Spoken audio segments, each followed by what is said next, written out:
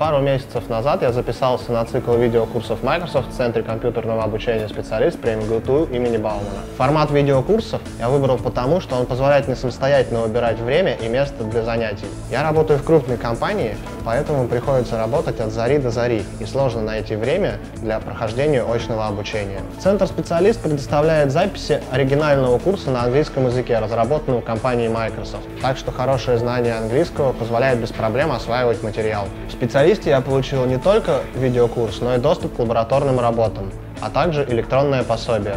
Еще одним плюсом данного курса я считаю возможность получения консультации преподавателя, если возникают вопросы в процессе обучения. Так что если нет проблем со знанием английского и есть мотивация, видеокурс – это то, что надо. Я благодарен специалисту за то, что он предоставил все необходимое для сдачи экзамена MCP.